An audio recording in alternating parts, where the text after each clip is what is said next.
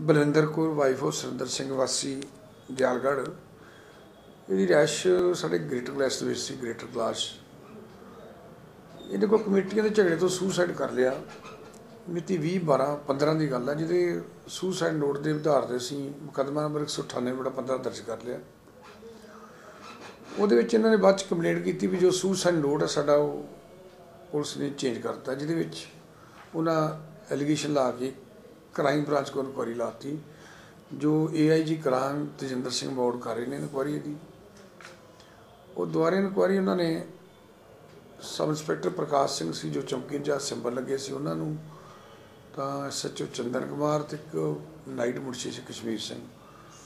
ਉਹਨਾਂ ਨੂੰ ਦੋਸ਼ੀ ਠਹਿਰਾਤਾ ਤੇ ਨਾ। ਜਿਹੜਾ ਉਹਨਾਂ ਦੇ ਅਗੇਂਸਟ ਕੋਰਟ 'ਚ ਚਲਾਨ ਦੇ ਰਹੇ ਆ।